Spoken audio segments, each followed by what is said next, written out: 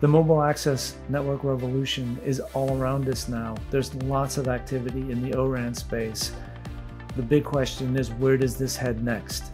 ORAN tremendous momentum.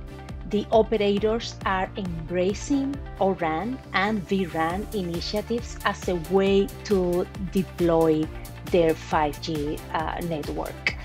We have been in this uh, journey for uh, more than 10 years, for a decade, first at the core, virtualizing the core, and now taking it to the RAN. We are coming from an a, a era of where we've delivered vertically orientated solutions in the radio network to an area where we're going to be delivering disaggregated and cloud-based systems with open interfaces into the market. We're seeing an ongoing revolution in mobile network access for sure, and Open RAN is definitely one of the hot buzzwords and one of the key concepts as part of this revolution. Um, as part of our ongoing series on next-gen infrastructure, um, Jim and I are going to take a look in detail at this Open RAN movement.